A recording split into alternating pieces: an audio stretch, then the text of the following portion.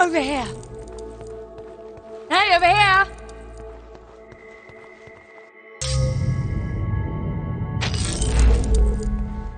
Hey! Hey, over here. Hey! Hey, over here. Over here.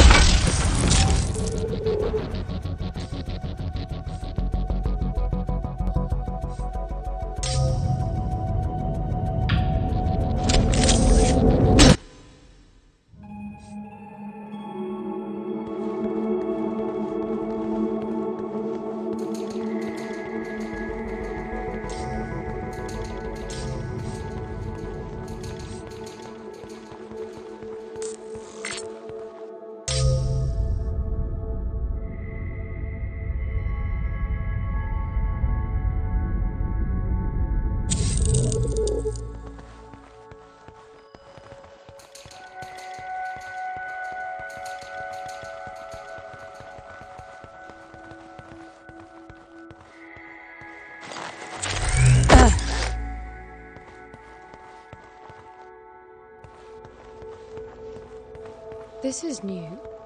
Manifest corruption.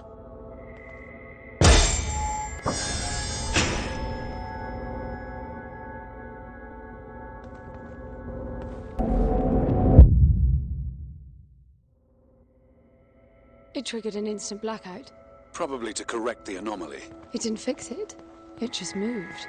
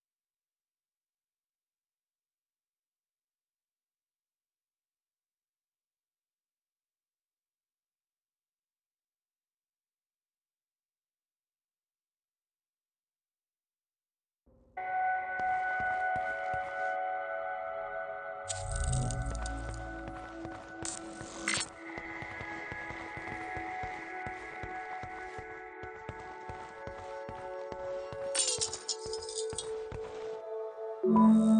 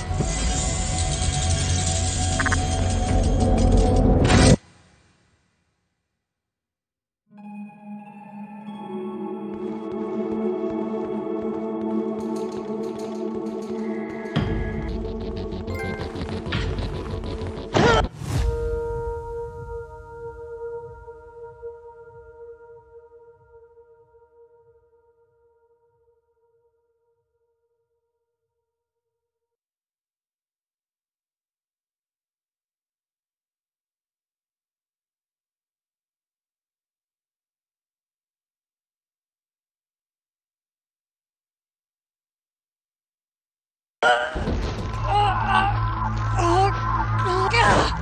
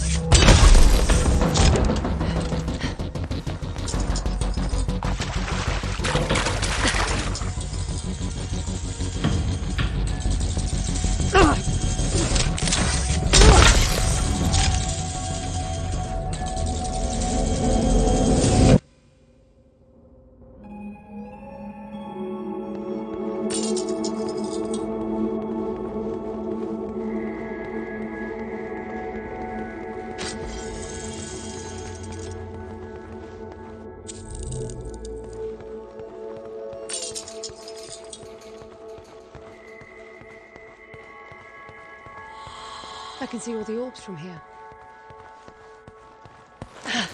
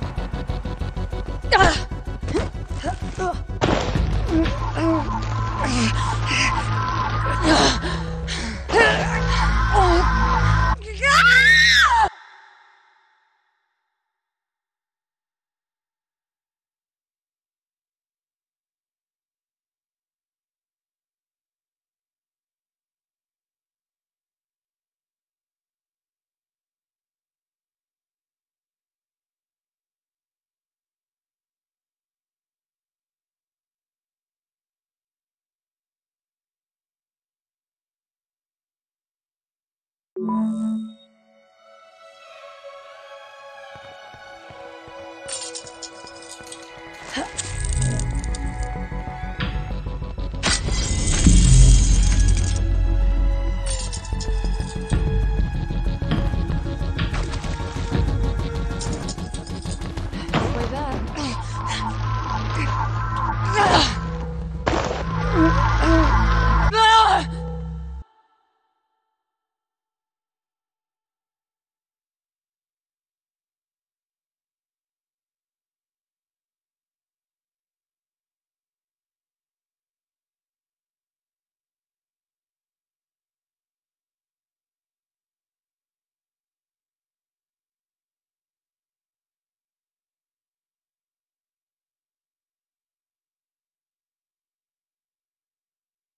Música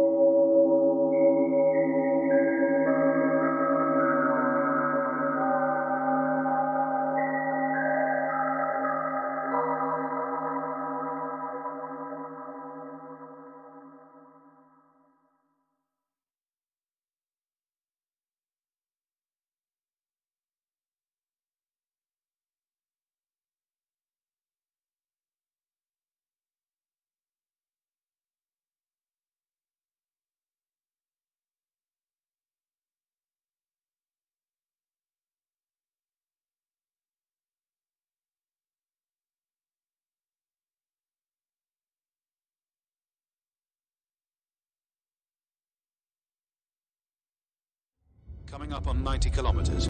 Slowing down.